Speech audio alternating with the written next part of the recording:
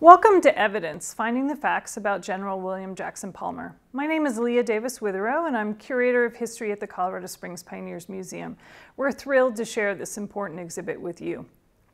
Our goal was to challenge the myths that we keep repeating about General Palmer and indeed about the founding of Colorado Springs.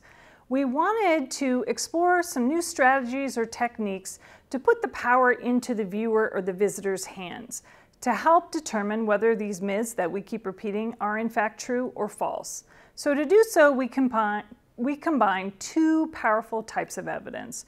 We use archival sources, photographs, documents, newspapers, and books, and we combine it with archaeological materials that were recently unearthed through a dig at the Palmer trash, trash site near Glen Eyrie, north of Garden of the Gods.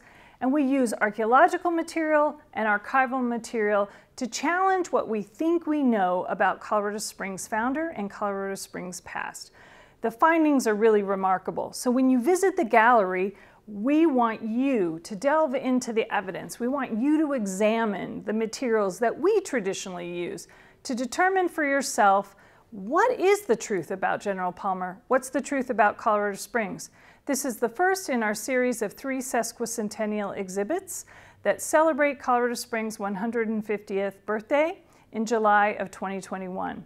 The museum is open 10 to 5 Tuesday through Saturday. We hope you take the opportunity to come and visit this important exhibit. Thanks so much and see you at the museum soon.